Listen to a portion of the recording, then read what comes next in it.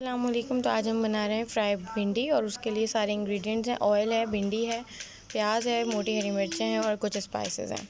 तो अपनी रेसिपी की तरफ़ चलते हैं। यहाँ पे हमने एक कप के करीब ऑयल ऐड कर दिया और उसमें भिंडियाँ ऐड कर देंगे और उसको अच्छे से फ्राई कर लेंगे।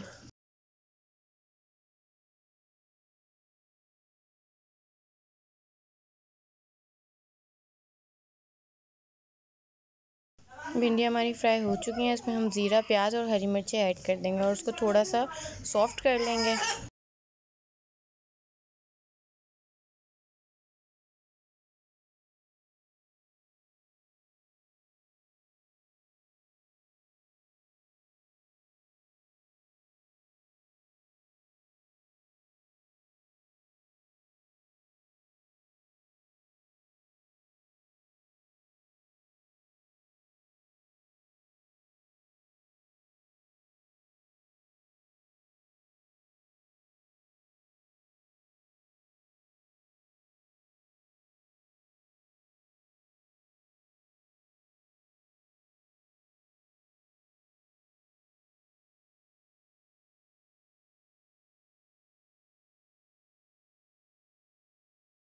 जब हमारी प्याज कुछ इस तरह की हो जाएगी तो उसमें हम अपनी भिंडी ऐड कर देंगे।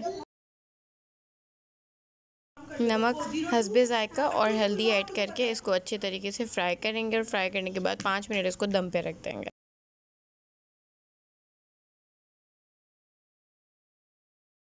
अब इसमें धनिया ऐड कर देंगे। यहाँ पे इसी के साथ हमारी रेसिपी होती है ख़त्म। उम्मीद करते हैं कि आपको पसंद आई होगी। अल्लाह हाफिज़।